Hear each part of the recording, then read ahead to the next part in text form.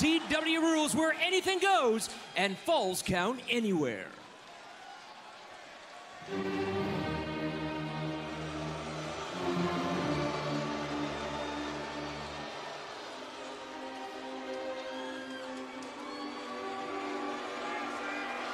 What a freaking jerk. Jack Perry, the man who had Forbidden Door betrayed Hook, weeks ago.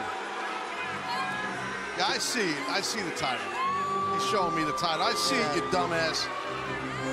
Have some I'm trying to be professional. I. I get it. Have some respect. Don't drag it on the ground. Put it around your waist. And if you look at the the attire That's. Perry is I wearing. noticed that. Yeah, and I'm sorry. I don't upcut you. Say it.